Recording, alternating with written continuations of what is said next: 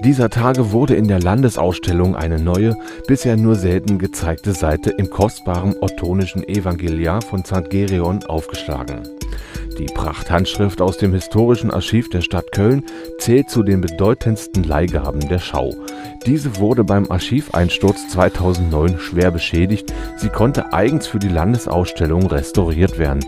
Die Mittel dazu kamen von der Ostdeutschen Sparkassenstiftung und der Stadtsparkasse Magdeburg. Die neu aufgeschlagene, kunstvoll gestaltete Seite zeigt den Anfang des Johannesevangeliums. Die goldenen, reich ornamentierten Anfangsbuchstaben des Textes sowie ein goldenes Medaillon mit dem Bildnis Christi füllen das Mittelfeld der Prachtseite.